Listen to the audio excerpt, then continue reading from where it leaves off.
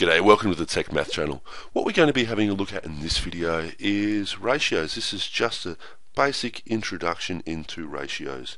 And in some later videos, we will be looking at how to play around with these and work out some more complex things with them. So first off, what is a ratio? A ratio is a way of comparing uh, two or more sets of quantities. I'll give you an example that if that sounds a little bit funny. So say I was looking at the amount of cordial in a drink. Okay?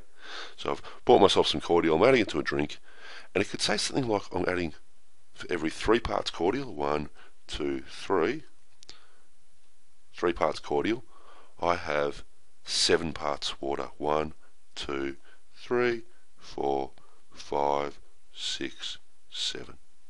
Okay, so this would be said to have a ratio of three parts to seven. Three is to seven, okay, and this is how we write these. Alright? So we're comparing one quantity to another quantity. So they're pretty simple, and you can do this for all sorts of quantities, okay? Uh, whether it be things to do with weight or just even sheer amounts of things. And we'll go through a few examples with this. So just a couple of things with ratios. Uh, the first one is this. Uh, I guess the first thing I'd want to tell you is that units are important with ratios. I'll give you an example. Say I wanted to compare 3 centimetres to a measurement of 20 centimetres. You'll notice that these are both in centimetres, and it's fairly simple. We could say that these had a ratio, you guessed it, of 3 is to 20.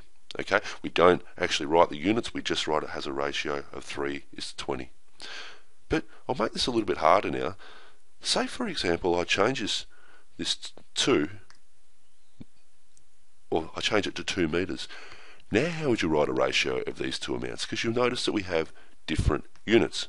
So we're going to change one of these units. I'm not going to change the centimetres here. I'm going to leave that the same, 3 centimetres. But I'm going to change this so that the 2 metres is also in centimetres. There's 100 centimetres in a metre, so this is 200 centimetres. Now we can easily write a ratio where this is a ratio of 3 is to 200. Okay? Now we're going along fairly well with this, so hopefully you're, you're not finding it too hard because it is fairly simple. But a few people do, you know, panic when they get these. So the other thing with ratios is ratios can also be written as fractions. So say uh, we were looking at something like, um, okay, what about seconds and minutes? Say I was looking at 17 seconds and I wanted to compare this to one minute. Now, first off, what you'll notice is to write this as a ratio, I need to change this. Okay, so I'm going to change this all into seconds, 17 seconds, and 60 seconds here. Okay, so we'd have a ratio of 17 is to 60. We can also write this as 17 over 60. We can write this in a fractional form. Okay, and that's all that means is, but ratios can also be written in a fractional form. Uh, the other thing with ratios is they can be made into more simple forms. Okay, this is something we're going to have a look at more extensively in another video. So I'll give you an example of this. Say I was talking about the amount of kids walking to school. Uh, we could say 20% of kids in a class didn't walk to school, they got a lift off their parents, and 80% walked to school. So we could write this as a ratio as 20 to 80, okay? And that's, that's fine. We've got a ratio there of 20 to 80. But you can actually simplify this further. You're going to notice that 10 goes into these numbers. So I could divide 10 into both of these, all right? And if I do that, divided by 10, I would get 2 is to 8. And you might look at that and go, hey, wait a second.